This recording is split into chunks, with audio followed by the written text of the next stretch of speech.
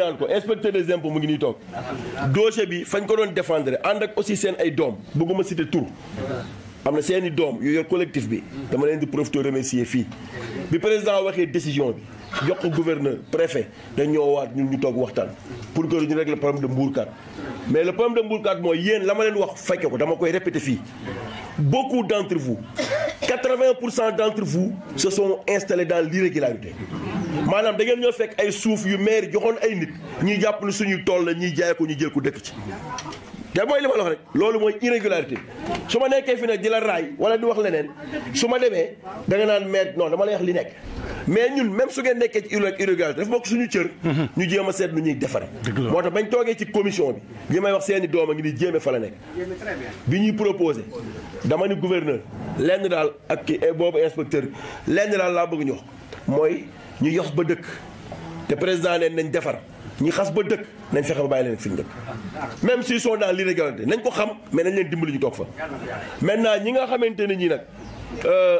jël nañ seen i kër dëkk ci wala ñeneen ak yeneen kii parce que nit te bu tabaxee ba toll fu toll nii nga ñëw dindi ko pour jox ko keneen autant nga wutal keneen ki fu mu nekk mhm. yàlla mi dara tawul dimbali ñu suuf àll bi desoon président wax joxe woon ordre ne nañ ko déclassé procédure bi dugg na ba am na ñu naan président def na ci jeew mais ñu daal li amoon solo mooy commission bi li may wax gërëm seen doom yi fa nekkoon gërëm inspecteur mu ngi nii toog mooy fexe nañu ba képp ku fa tabax ak lu mu tuuti tuuti dinañ fexe nga toog fa mais mais bi dafay leer ku fa nekk ci mbedd boo xam day tax oto du fa dugg dinañ la fa jëlee ku fa tabax ci école bi ñu war a jànge dinañ la fa jëlee ku fa tabax place poste santé dinañ la fa jëlee loolu armé wu leen mais keneen ku nekk foo xam ne yàqaloo dara ñu jël même bu dee ci kayitu jàmbur nga tabaxoon ñu jël kooku nga tabaxoon këram jox ko feneen yow ñu bala nga toog ci jàmm ak sutura léegi nag dama bëgg mu leer léegi nag état du Sénégal dafa am hiérarchie man ci plafond bi ma ci toll sama doole fam ca yam foofu lay yam mhm. fa ministre bi yam fa lay yam fa président yam fa lay yam du ma toog fii naan la lépp dinaa ko lijjanti nga dem tëdd di naan soow affaire séeréer yooyu nekkuma ci bu ëllëgee nga may gërëm ci loo xam ne du sama responsabilité dama bëgg mu leer léegi daal lii mooy la mooy nañu jàpp ni président la mu waxoon fii jàpp nañu ni respecté na ko